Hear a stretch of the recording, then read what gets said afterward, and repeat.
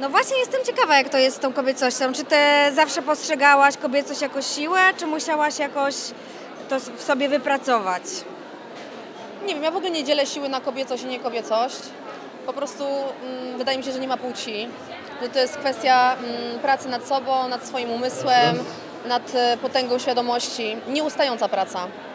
Bo e, życie daje nam e, różne doświadczenia i, i tak naprawdę e, jakby sukcesem i siłą i kobiety i mężczyzny jest taka umiejętność wychodzenia z, z porażek i budowania na tym swojego, swojej potęgi.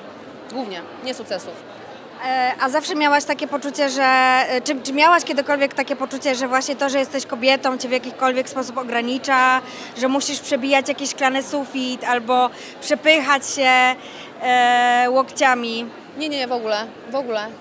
Wręcz przeciwnie. Zawsze wydawało mi się, że mi wszystko wolno, y, wszystko mi pasuje. Mm, I może dlatego zawsze budziłam tyle, wiesz, kontrowersji od zawsze e, i sprowadzałam ludzi w szok. Właśnie dlatego, że nie stawiałam sobie żadnych granic, barier i nie czułam się w żaden sposób zniewolona. Ja uważam, że w głowie mamy jakiekolwiek, wiesz, takie mm, więzienia, które sami sobie się wkładamy. Strach przed tym, co inni pomyślą. Ten strach mnie w ogóle nigdy nie dotyczył. E, Ale to jest e, trochę tak, że ty jesteś z takiej e, rodziny, w której kobiety są w ogóle silne? Nie, to nie jest tak. Moja babcia mm, raczej bardzo delikatna, bardzo taka subtelna, nie lubię w ogóle unikająca jakiejkolwiek konfrontacji, kłótni, e, taka wiesz, niezwykle ciepła. E, moja matka z kolei silna, ale też e, bardzo dyplomatyczna, bardziej czasami stawiająca się właśnie w roli ofiary niż, e, niż e, zwycięzcy. E, A ja ani jedna, ani druga. Kompletnie ktoś inny. Więc nie, nie, nie. Tutaj bym nie szła w tym kierunku.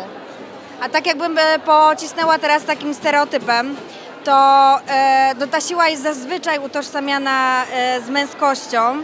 A czy masz takie cechy, mm, czy jest, masz jakąś taką, takie miękkie podbrzusze swoje, e, którego nie pokazujesz na co dzień? No pewnie, ja całkowicie e, show biznes ograniczyłam i odseparowałam od swojej jakby wrażliwej strony. To jest mój zabieg celowy, nikt mnie nie zna od tej strony, bo uważam, że na to nie zasłużył po prostu. Ten świat jest brutalny, moja praca jest bezwzględna, ludzie tego nie doceniają, e, wykorzystują, więc taką delikatną, wrażliwą część mnie zostawiam tylko i wyłącznie dla najbliższych. E, a kobiecie jest potrzebny facet, czy jest potrzebny facet jak rybie rower? E, Facet jako facet nie, dobry facet tak. E, Dobry partner, który wspiera, jest wyrozumiały, daje support, daje e, bezinteresowną miłość. I przede wszystkim takie poczucie bezpieczeństwa. To jest ważne dla każdego człowieka, nie ma też znaczenia jak, jakiej płci mówimy. Każdy potrzebuje mieć kogoś w domu, komu może się wypłakać, do kogo może się przytulić, komu może zaufać. Ktoś, kto później nie, mm, nie wykorzysta e, w żaden sposób tego przeciwko tobie, kto nie będzie twoim, e, wiesz, wrogiem, tak zwane sypiając z wrogiem, nie?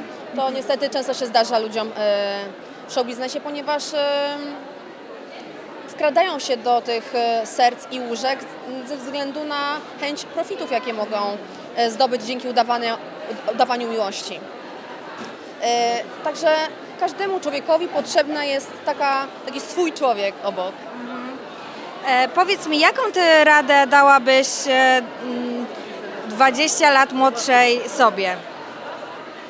Mm, Żeby się mniej spalać, żeby mniej e, przejmować się, e, emocjonalnie e, tak e, uzewnętrzniać.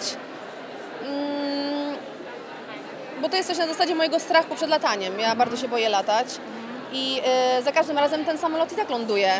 A jak widzę siebie w tym małym okienku, mdlejącą, z wypadającymi po prostu, wiesz, włosami z nerwów, nie mogącą oddychać, siną na twarzy, e, to mi jest samej siebie szkoda, więc dałabym sobie radę, bitch, chill down, oddychaj, dolecisz na zajebiste wakacje, zawsze dolatujesz. E, A powiedz mi, no bo ten show biznes, show biznes e, powiedziałaś, że jest bardzo bezwzględny. E, Co byś poradziła młodym dziewczynom, które chciałyby pójść twoją, twoją ścieżką? A nie idźcie nią. Absolutnie nie. Po co wam to wszystko? To nie jest dla wszystkich praca. To nie jest dla wszystkich praca, bardzo dużą cenę się płaci. Yy, swojej godności, swojego honoru, poczucia wartości. Yy, yy, duży uszczerbek na zdrowiu psychicznym. Praktycznie żadne, żaden gwarant zdrowej, bezwarunkowej yy, miłości, relacji. Nie warto. Okej, no to takie duże, o dużych stratach teraz mówisz. No dosyć dużych, tak.